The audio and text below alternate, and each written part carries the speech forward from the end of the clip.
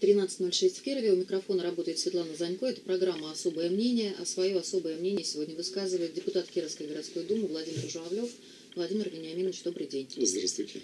Ну что, а, Марина Сазонтова буквально на днях в нашей программе тут же в особом мнении заявила, что инициатива по пенсионному референдуму может заглохнуть, и связывает она это с тем, что те группы инициативные, которые избиркомы регистрируют в разных регионах страны, они регистрируются только для того, чтобы не дать провести референдум коммунистам. А, что вы по этому поводу думаете?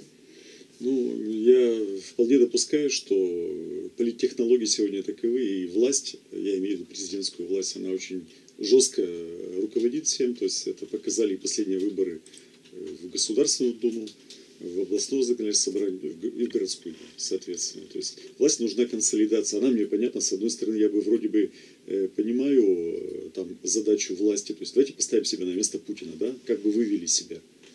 Э, понятно, что хотелось бы, наверное, какой-то централизации, но не надо и забывать, что э, вот это любого человека касается, и вот, например, в религии, в нашей, в православной, эти есть вещи, понимаете, от искушений. От искушения нужно опасаться. То есть искушение подумать о себе, что я самый умный, что я могу все решить за всю страну, за всех людей. Вот это каждый человек на своем месте, облеченный властью, должен постоянно думать.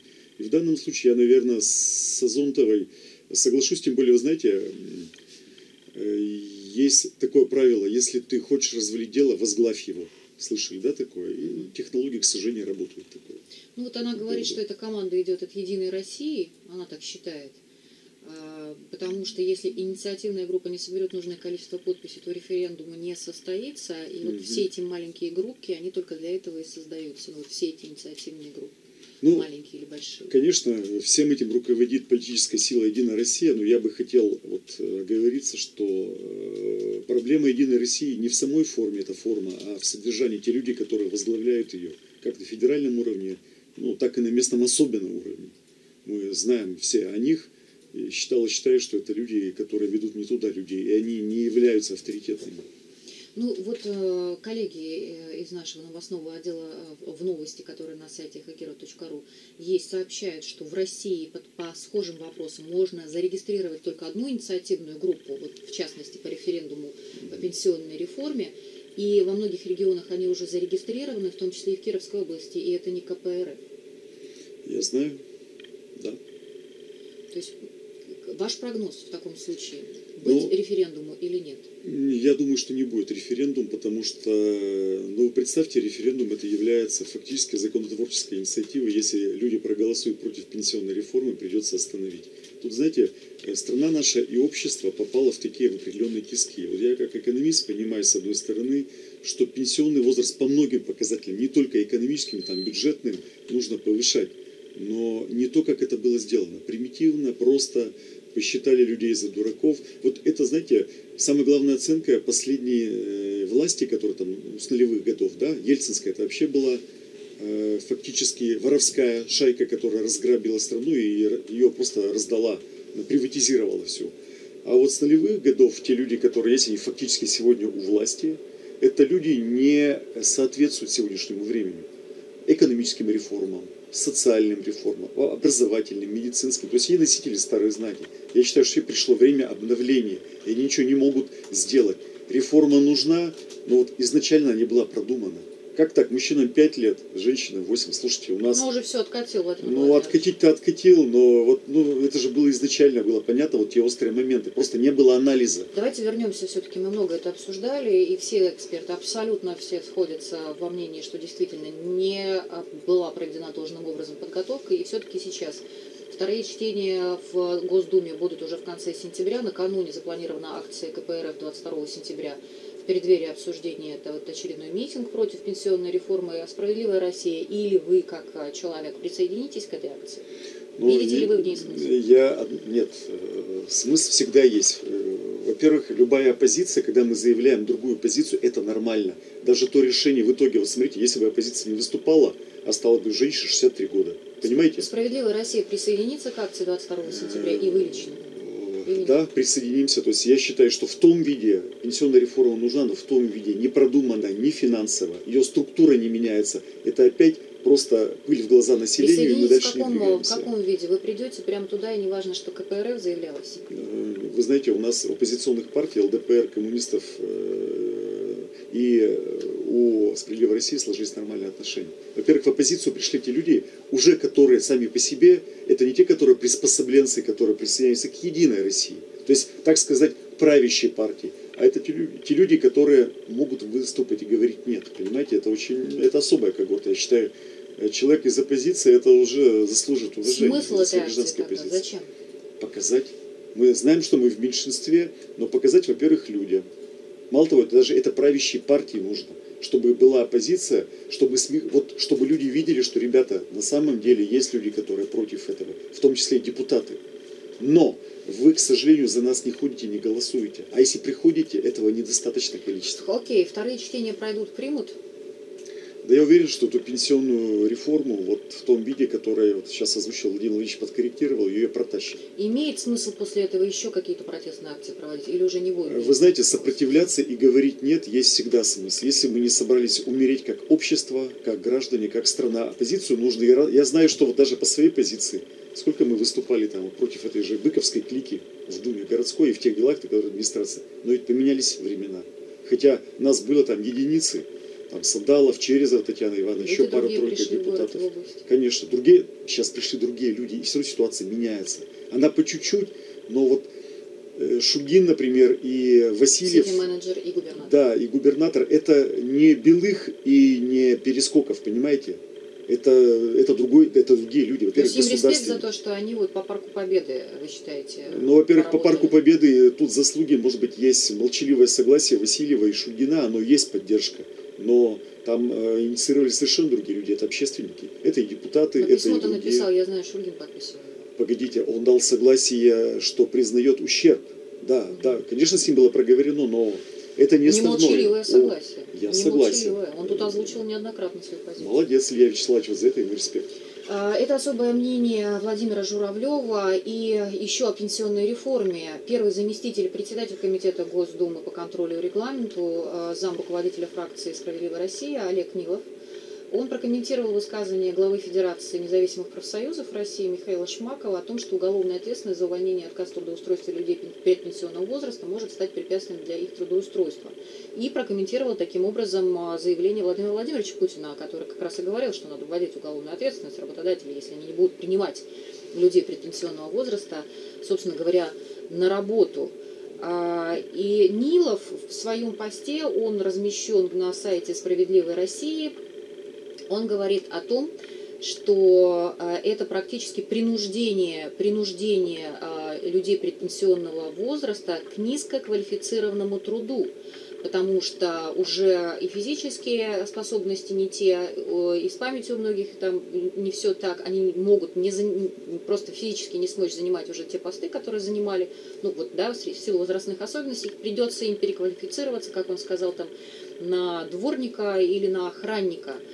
А что вы как работодатель вот скажете, да, э, и, и как депутат, и как человек по этому поводу? Ну, вот вы знаете, у нас э, правящая вот эта элита, которая сегодня на федеральном уровне, ну, я про областной не говорю, потому что решается на федеральном уровне все, она сегодня, э, вы знаете, не соответствует уровню знаний. То есть она, у нее квалификация не соответствует Нет, погодите, тем вызовам. Погодите, погодите. Заявлять такие вещи. Согласны ли вы Нет. с заявлением Олега Нилова, что, С этим согласен. что принуждение работодателей согласен значит, брать, это, вот, это, это повлечет за собой а, смену профессии у людей предпенсионного возраста, и они вынуждены были, э, будут становиться дворниками и а, там, охранниками. Но он утрированно немножко говорит, но я хочу сказать, что в нек... он, понимаете, он немножко как бы общественный политик, он немножко это утрирует. Понятно, что если это директор завода, он дворником, наверное, не пойдет. Ну, в большинстве своем, может быть, там 99 из 100 не пойдет. И это такая картинка, которая показать... Что все должны будут э, терпеть директора завода до скольки-то лет, даже если он уже потерял возможность руководить. Слушайте, я не говорю, что все я теряют, с этим но... согласен, но, к сожалению, вы знаете, вот никто не задумался, а вот когда частный бизнес, у нас, вот я знаю директора, которым далеко за 70 крупных предприятий исправляются. То есть с директорами все в порядке, хорошо. А что, э, ну, то есть вы не думаете, что людям вот этого возраста массово придется уходить на какие-то работы низкоквалифицированные? Нет, это немножко не связано с этим. Тут же, вы знаете, проблема больше всего в психологии людей. Вот вы меня поймете там, ну вот кто был в армии, там, представляете, вы там два года отслужили, а вам говорят, а вам еще нужно год отслужить, там, да, или даже хотя бы два месяца. Это психология. А для людей, которые там 60 лет собирались выйти на пенсию, говорят, нужно еще поработать 5 лет. То есть, ну... Нет, ну, меня интересует один вопрос. То есть вот здесь потерь не будет. То есть люди будут нормально продолжать работать. Да я считаю, что это огромный стресс, что у нас э, федеральное правительство, эта реформа, она должна быть постепенно, должна быть... Погодите, на... Владимир, пожалуйста, отвечайте на мой вопрос конкретный. Есть ли угроза того, что люди предпенсионного возраста в силу этой новой реформы вынуждены будут уходить на низкоквалифицированную работу? Я после, хочу... после короткого промежутка ответите. Я... У нас перерыв на полминуты. Хорошо. Да, это программа «Особое мнение». Микрофона сегодня работает Светлана Занько. Свое особое мнение высказывает э, депутат городской думы Владимир Журавлев. Я повторяю свой вопрос. Считаете ли вы, согласны ли вы с Олегом Ниловым, что люди предпенсионного возраста, вот, которые в новой уже будут о действительности жить, вынуждены будут переходить на низкоквалифицированную работу? Согласен. Будут. Дальше. Что насчет возможной компенсации работодателю, которые э, также под угрозой уголовной ответственности, о которой сейчас говорит в том числе и Путин, должен будет э, принимать на работу предпенсионеров или сохранять за ним рабочие места? Слушайте, во-первых, уголовная э, уголовная статья за то, что работодатель нарушает все принципы бизнеса, понимаете, гражданское судопроизводство, я понимаю, там кто-то может сказать, там, не юрист по специальности, Путин юрист, Медведев юрист. Слушайте, это противоречит Конституции, свободе выбора, в том числе право на труд. Есть трудовой кодекс, который все э, предусматривает, и там четко в нем сказано, э, достижение пенсионного возраста не является основанием для увольнения. Все, что нужно еще придумывать. Я думаю, что это просто политическая риторика, чтобы, знаете, не сведущих людей, которых у нас много, ну просто таким образом, что мы якобы защищаем ваши интересы. Ребята, пенсионная форма в той форме, она не проходит. Самое главное, я даже вижу дело не в возрасте, а в структуре. Как дальше будут эти числения? Сможем ли мы, вот э, кто-то, например, платит всю жизнь э, э, пенсию, сможет ли он, э, вот как в Европе, как в Америке, как в другом э, западном мире, человек даже не дожил до пенсии, он эту пенсию может, э, его наследники могут наследовать и тратить. Это накопление всей жизни.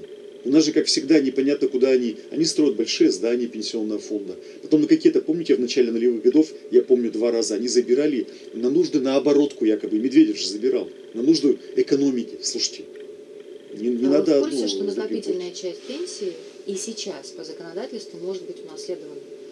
Я это понимаю, но, Нет, к сожалению... вы знали об этом? Конечно. А я вот нет. Для меня это было открытие. И я со многими людьми, после того, как нам недавно тут сказали об этом в студии, разговаривал, люди не знают об этом, наследники не знают об этом. Я хочу сказать, что там э, формально это есть, но на практике покажите мне хотя бы один случай, там есть, не хватает немножко двух вещей, которые законодатель упустил сознательно или нет, которые не позволят это сделать. Вот и все. Дело в другом. Дело в том, что эту часть пенсии а, выдают наследникам только по заявлению, а люди не знают что на нее можно заявиться? Э, нет, я, э, там не хватает, как бы там, это вещь, знаете, как они сразу спрашивают, говорят, а докажите вот эти все платежи, и в итоге ага. вот с, с доказыванием бывает очень сложно. Я пока, по крайней мере, ни одного не знаю случая в Кирове или в области, э, чтобы наследники получили вот эту накопительную пенсию. А, возвращаясь к уголовной ответственности работодателей, как вы думаете, такая норма будет принята? Эта норма противоречит э, Конституции, противоречит Э, законодательству. Не понимаете? стоит ли тогда это обсудить уже, например, в бизнес-сообществе с бизнес-омбудсменом и выйти вовремя с какой-то а, противоположной инициативой? Вы знаете, я даже не вижу смысла, как юристу, это что-то сейчас оспарить. Эта риторика, э, ну, ну, понимаете, она такая безответственная, я бы сказал. Зачем сказал об этом? Ну, брякнул, бывает такое в политике у некоторых людей. К сожалению, я говорю, брякнул, потому что почему? Потому что в трудовом законодательстве сегодня есть это положение. Достижение пенсионного возраста, не сказано какое, 55-60 старое, не является основанием для увольнения. Вот и все. И с точки зрения юридической, как это доказать? Да даже человек, работодатель увольняет этого человека, говорит, да он старый уже. Но он ведь не пишет формулировки, а и сейчас, наверное, эти случаи есть, я так думаю, но он ведь не пишет формулировки, что из-за того, что он старый, понимаете, а там придирается к другим вещам там, пьет, прогуливает. То есть формально у работодателя, у недобросовестного, у него всегда есть повод уволить человека. Но в то же время вот положительные Все-таки моменты- такие заявления говорят о том, что прессинг на работодателей будет. Я думаю, что это просто пропаганда такая, понимаете, да, вот якобы мы вас защитим и так далее. все Ну, понятно. Все понятно. Владимир Журавлев, это его особое мнение. Э, К нам пришел вопрос на сайт, э, значит, спрашивает про продажу, э, ну, поскольку вы экономикой занимаетесь, продажу э, торгового центра Театро, это на Преображенской 65, Театральная площадь. А, Его продавали на аукционе и не было подано ни одной заявки. А, Семиэтажный торговый центр выставлен на продажу был земельным участком единым лотом. Начальная цена составляла почти 450 миллионов рублей. А в Что вопрос? такое? Почему не продается в центре города торговый центр? Э, Слушайте, ну это вопрос не ко мне, я не специалист по недвижимости. Ну, вы часто высказывались по поводу европейского, и тоже и там с ценами нормально разбирались. Э, Почему? по- На европейский погодите, много заявок, а на погодите. театро нет. Ну, во-первых, у театро нет участка земельного. Насколько я знаю, это вот на углу вот э, Преображенской и Карла и Липкнехта. Карла Липкнехта. Мгм. Слушай, там нет участка А земельного. зачем он Есть торговый центр, зачем земельный участок? Ну, во-первых, там те площади, насколько я вижу, вот, э, Семь этажей. 7 этажей – это перебор для торгового центра. Знаете, я думаю, что там и с пожарными нормами, наверное, не все в порядке. Потому что там под торговую площадь уходит один, максимум два этажа, ну, три этажа с натяжкой. А все остальное – это, в общем, такой офисный балласт, который большой ценности не имеет. Лучше бы здесь построили э, жилье с точки зрения и риэлторской деятельности, это более выгодное вложение. Поэтому, Уже построили. Что с ним делать-то теперь? ну, Это проблема хозяина.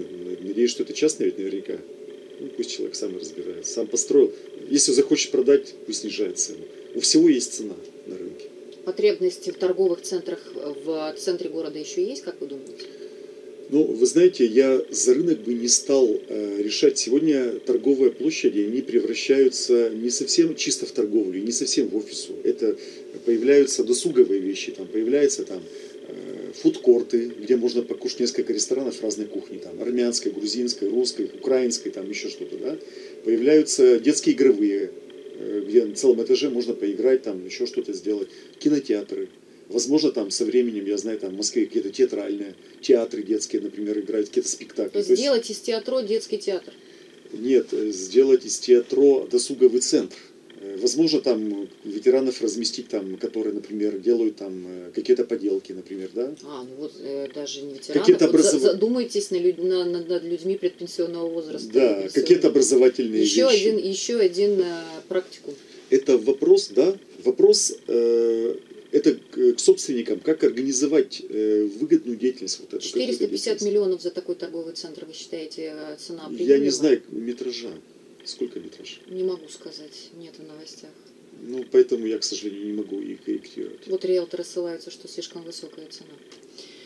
Понятно, продолжаем разговор. Это На- особое... это- Например, по центральному рынку, я знаю, есть покупатель за 2 миллиарда рублей. Но я считаю, что это дешево. За само здание центрального рынка За или весь за комплекс весь вместе участок? с землей. 2 конечно, миллиарда это миллиарда. дешево. А сколько?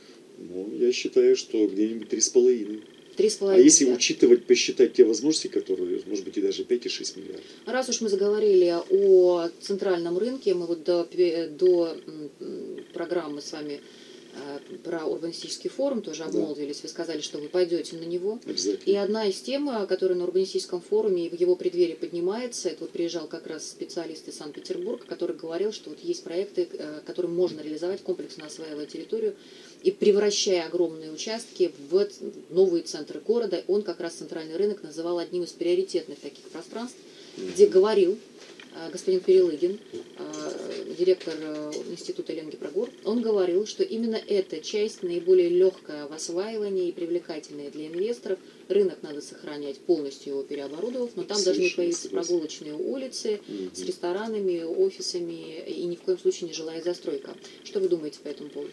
Ну, я, во-первых, хочу сказать, что мы без Кспина Перелыгина это знали. Есть э, люди в городе, к сожалению, они не были связаны с предыдущей властью, понимаете? То есть они- э, я хочу сказать, что вот все, что было при Быкове, при Перескокове, а при этом там при Драном, при Белых, это все люди, которые там работали, в общем-то, на себя. На себя или на своих приближенных. А в городе куча бизнесменов, я знаю, творческих, созидательных. И на этом месте действительно рынок построить. У нас э, уже года 4 или 5 есть предпроектное решение, которое мы показывали предыдущей власти. Ну, понятно, что у них были другие интересы. То есть вы в этом Перескоков. Конечно, я в этом участвовал. Есть даже предпроектное решение. И сейчас Что вот включало в себя это предпроектное решение? предпроектное Какие решение это сама идея и привязка к земле. Ну, это что, О чем мы говорили? идея, да? О чем мы говорили? Вот сегодня на тех свободных площадях в центре, где сегодня есть ларьки, ларечки, да, которые под открытым небом, э, так-то мы по федеральному законодательству еще с 1 января 2015 года должны все вот эти ларечки на рынках увести под крышу. Мы нарушаем уже четвертый год, нарушаем это законодательство. Четвертый год, с 1 января 2015 года. Второе, есть э, решение вот такое, что построить на этих местах. У нас, видите, там две проблемы. Помните, э, были против э, приватизации этого рынка арендаторы. Их там больше тысячи человек. Нет, давайте про вашу идею. Что там должно быть? Так вот, эта идея, она позволяет и учесть интересы арендаторов, и самое Хорошо, главное, ладно, интересы без, без, без муниципалитета. обоснований, просто какая идея?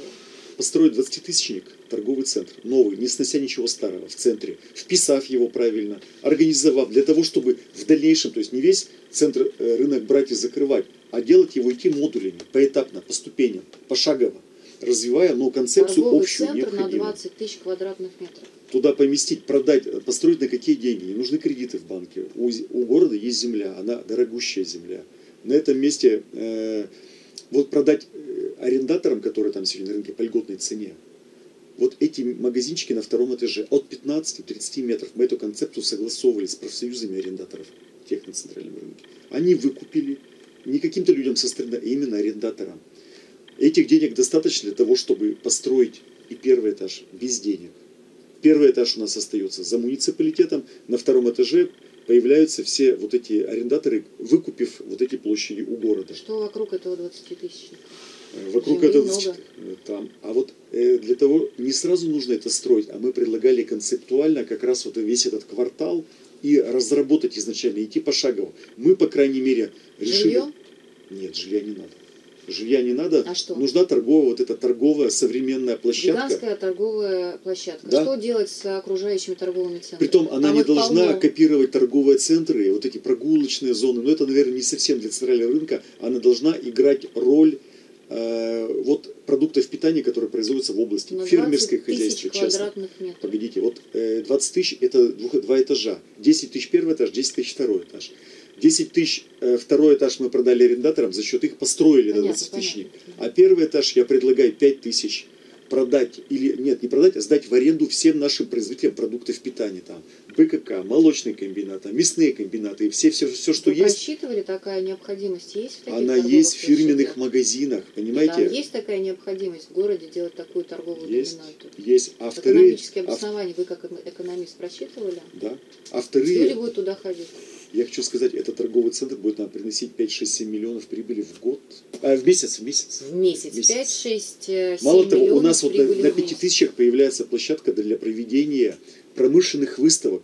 Сегодня выставки по колбасе, по молоку проходят в драмтеатре, Выставки или ярмарки? ярмарки, выставки, выставки продажи. Это когда... площадь, которая вокруг торгового центра. На них промышленные э, выставки, ярмарки. Нет, сегодня, вот, например, есть у нас Нет, отрасль нет, вы, пищевая. вы там скажите. Все пищевые выставки вот проводятся эти- в Доме культуры Родина, в филармонии Да, или в вы драмтеатре. предлагаете на площадях вокруг 20-тысячника Нет, не вокруг, Внутри. а внутри. А вокруг-то чего? Пятитысячная. У А нас, вокруг-то чего? вы знаете, что у нас нет негде проводить промышленные выставки. Хорошо, у нас есть оборонка, есть бытовое там, э, потребительские товары, Лепси, Авитек, Маяк. Где они могут выставить? Где выставку проводить? Вот- Все, у нас нет площадки. Вот, вот в этом торговом так как нет у нас торгу- э, концертного зала, правильно говорит Васильев, так у нас нет промышленной, для под промышленную выставку. Поняла. Рынок, магазины, плюс помещение для промышленных выставок. Конечно, Под одним, под одной площадью. конечно, конечно. Так и не сказали, что вокруг этого торгового центра А будет нет, вокруг торгового происходить. центра, во-первых, э, там должно быть, ну, наверное, пра- правильнее убрать подземную, подземную постоянки, потому что к центральному рынку под проблема парковка, да, конечно. А И там всё. ничто не А мешает. вокруг-то чего? А вокруг, а там дальше нужно прописывать, понимаете? Вот я вписал предварительно, А, мы пока решили не- задачу. пока- пока пока, пока что. 20-тысячник, а вот все остальное, все Надо квартально планировать. нужно планировать. Все конечно. понятно. Владимир Журавлев, это его особое мнение. Прервемся на полторы минуты и продолжим. Да, это действительно программа «Особое мнение». Свое особое мнение сегодня высказывает э, депутат городской думы Владимир Журавлев. У микрофона работает Светлана Занько. И у нас одна из самых популярных новостей на сайте эхокирова.ру. Часть игроков Родины не ходит на тренировки. Хоккейный клуб Родина. Продолжается эпопея. А, и главный э, попечитель э, команды «Родина» э, комментирует вот это, он сам говорит, что игроки не ходят на тренировки, говорит, сейчас состояние у клуба глубокой неопределенности, но при этом присутствует энтузиазм. И он надеется, что пока идет, идут соревнования, игроки смогут втянуться. А кто, кого попечителем называете? Маури, Андрей Маури. Ну, он не, он не попечитель, он э, директор, по-моему, клуба, да? Прекрасно. Руководитель э, клуба. Но, во-первых, я хочу Директор. сказать, э, мне понятны его слова с энтузиазмом, потому что, понимаете, вот без веры, без оптимизма, так тогда и жить не надо, у нас не все так хорошо, поэтому оптимизм у людей, которые еще намереваются жить, они всегда, оптимизм всегда присутствует, единственное, что это нужно подкреплять. Говорил и говорю, что проблема вот не только хоккейного клуба Родина, но и... Нет, там, давайте про хоккейный клуб Родина. Ну, Динамо, волейбольный клуб, баскетбольный клуб, та же самая проблема. Нет, не та же самая проблема. Только на хоккейный клуб Родина из года в год а, ищут и находят у предприятий десятки миллионов рублей. Десятки миллионов их ищут и находят. И в этом году собираются тоже найти. И заявляются на соревнования, потому что Федерация хоккея с мячом России подтвердила участие Родины в Кубке России. Команды, игроки, которые не ходят на тренировки, и, видимо, в процессе Кубка России они будут втягиваться в игру, и на это ищут и находят десятки миллионов. Как ищут и находят, вы знаете? Ну, на самом деле, э, вы мне сейчас покажите сверстанный бюджет. Это все может быть на бумаге, это желание. И вот я знаю, что там, к Андрею Альбертовичу Маури многие относятся как бы не э, однозначно, но хочу сказать, вы знаете, в трудный момент э, человек пытается хоть что-то сделать. А да при чем тут есть, человек? Есть человек? Ну, Игроки не ходят, на, не ходят на соревнования. На них опять же находят, Слушайте, если вам не платят зарплату миллионов, несколько месяцев, может быть, у кого-то и А зачем, объясните, играть, э, играть э, в, в, в кубках игрокам, которые даже не ходят на э, тренировки. Ну, и зачем находить эти деньги? Объясните, Владимир. Я вот нет, как хозяйка своего это бюджета просто не фраза, понимаю. что не ходит. Может, не ходит два-три человека. Давайте конкретики переходить. И для меня... И вот, что? Это нормально для команды спортивной? Я считаю, это ненормально для нашего региона и для нашего министра спорта Георгия Андреевича, который не может найти деньги. Если ты... Слушайте, еще раз.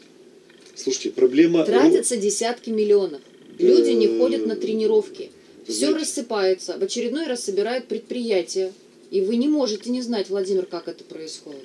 Тут они заявляли у нас в студии. Их собирают, они платят, не от того, что очень хотят поддерживать э, команду Родина. И мы имеем то, что мы имеем. Это не похоже вот сейчас на совсем уже агонию? Я вижу, мы предлагали еще 4 года назад ту систему финансирования и все остальное, которая могло бы решить проблему. Власть нас не слышит. Ну, раз не слышит, пусть там Шугин, Васильев, там, Георгий Андреевич, министр наш спорта, решает проблему, сами варятся. Есть люди, как это, есть люди, которые знают, как это решить на местном уровне. Опять есть люди. Есть люди. Объясните ситуацию. а что объяснять? Если, если дураки у власти, если люди, которые некомпетентны, не можешь решить вопрос. Это, я считаю... Это Барминов сейчас? Вы его там, называете? Да все, кто не может решить. Ну а что так? Который не может решить. Конечно.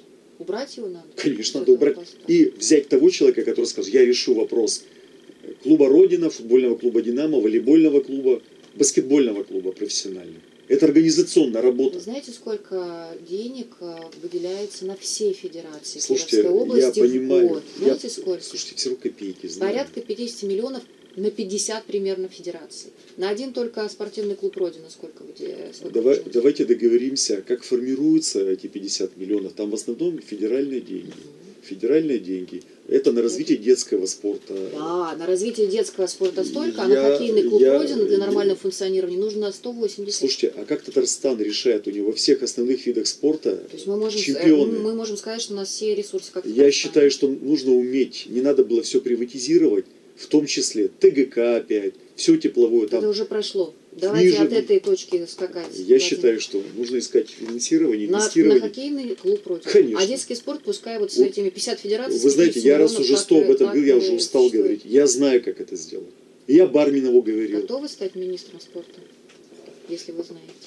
Э, мне достаточно стать советником, и если люди будут это решать, встретиться с Васильевым, я знаю решение. Зачем Маури такие заявления делают?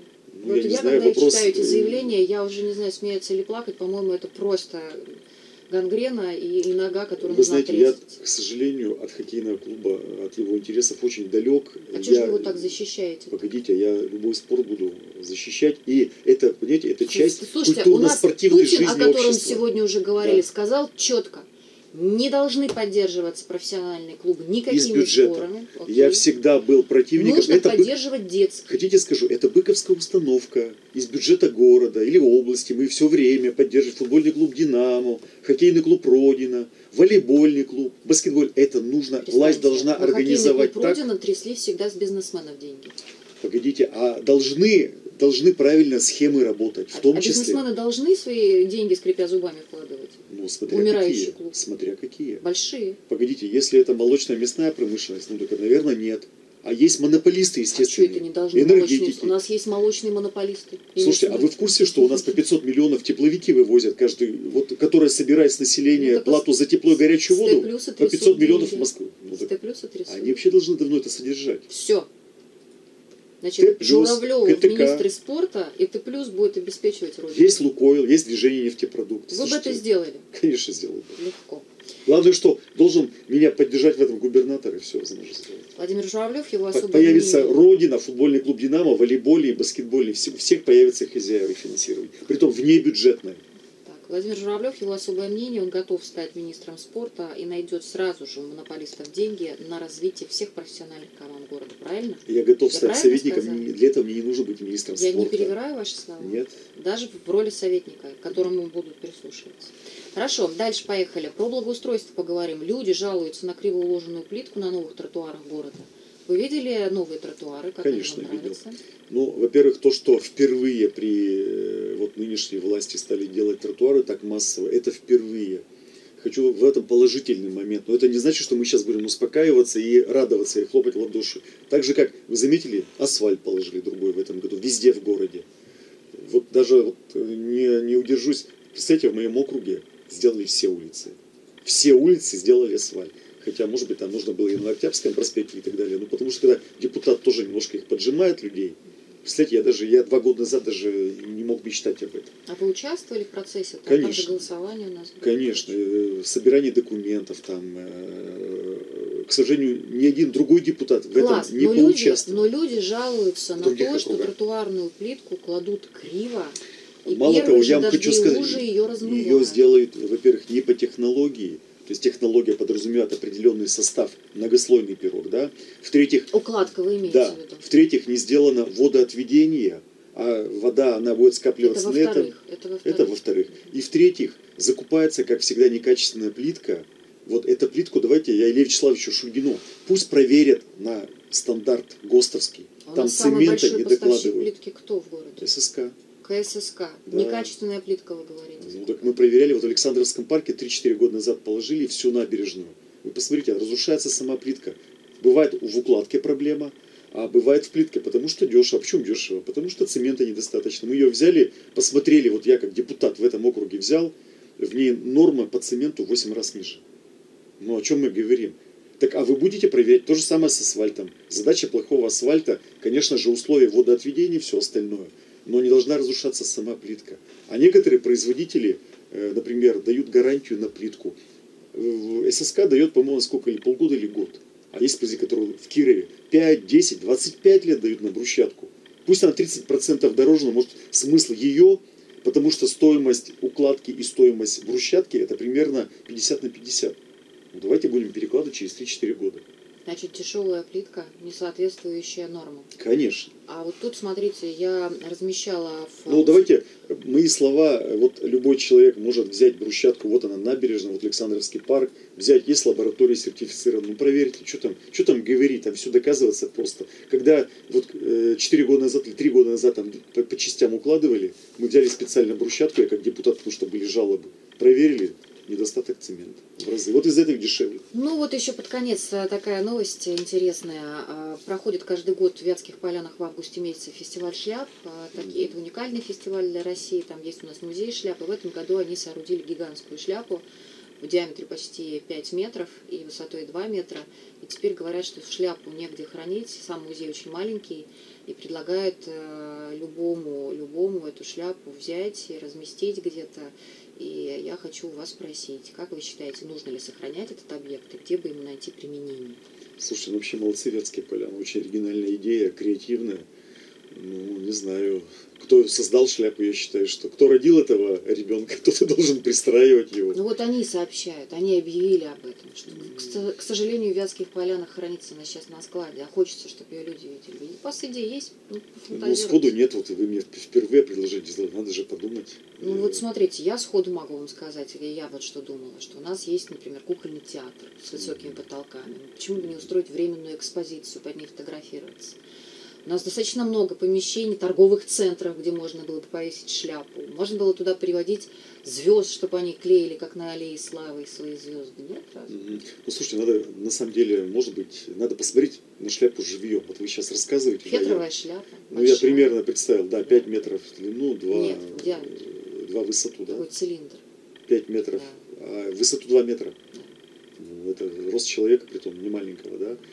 Ну дайте мой телефон, может быть, что-нибудь придумаем в городе. Ну, я не буду давать. Это Почему? если только вам интересно, это все есть в интернете. То есть вы себе не представляете. Они сами пускай представляют. Жаль, я думала, что сейчас под конец программы какую-то ферическую идею представите. Хорошо, я, я, я попытаюсь порешать. Мне нужно увидеть, понимаете? Вот любой человек... Надо сохранять ее. Хотите, вот ее я... можно использовать вообще? Как Это, конечно, возможно. Окей. Хорошо. Ну, дело-то, конечно, не в шляпе у нас. Вы все. знаете, любой нормальный человек, который занят делом, Но мне, мне нужно посмотреть, жаль. потрогать, потрогать руками и посмотреть, что можно а с этим сделать. А вы приезжайте в Вятские поляны в следующий раз на фестиваль. Такой интересный. Если пригласят, да. Вы представьте, Слава, ну я же, а я же живой человек. приглашение? Ну, я даже не слышал про такой фестиваль, честно вот. говоря. Вот видите. И ни один, кстати, представитель а, там правительства тоже не побывал очень, ну, наверное, из правительства это неправильно. А расстраивались организаторы. Тоже шляпу не трогали. У меня есть объяснение, городской депутат. То есть меня интересует все, что в городе Кирове. Вот здесь я стараюсь отслеживать. Все шляпу в Киров. Кстати, вы знаете, я хочу э, вот, 15 э, секунд. пригласить в конце приятное на углу улицы Казанская и Роза-Люксембург Сегодня там открывается новый сквер и, самое главное, открывается новый фонтан, шикарный в виде каменного цветка. Это вот идея, собрались э, горводоканал, э, администрация Первомайского района, депутат, вот в частности, вот ваш слуга покорный. То есть мы выделили все деньги, сбросились, горводоканал э, поставил там насосы, систему вот эту, и там вот шикарное место. Сегодня. Вот, когда люди договорились, при том, вот этот э, проект не показушный, понимаете? Вот просто люди сказали, давай что-нибудь хорошее сделаем. Бальзам не надо, потому что это в рамках проекта 30 скверов. Это так хорошо, Конечно, что это происходит. но там, но там еще и фонтан. Да, Шикарный. Это, Притом, это такого фонтана в городе Крупномеров там не хватает. Вот если ну, я еще скинуться, то крупномерные деревья. Но мы подумаем, там может быть какие-то скульптуры интересные поставим. Скульптуры такие. это не деревья. А сквер – это деревья. Ну, согласен. Тоже Спасибо, все равно радостно, Владимир Журавлев. Приглашаю всех в 6 часов сегодня 6 часов открытия фонтана и сквера. Э, программу вела Светлана Занько. Всем хорошего дня.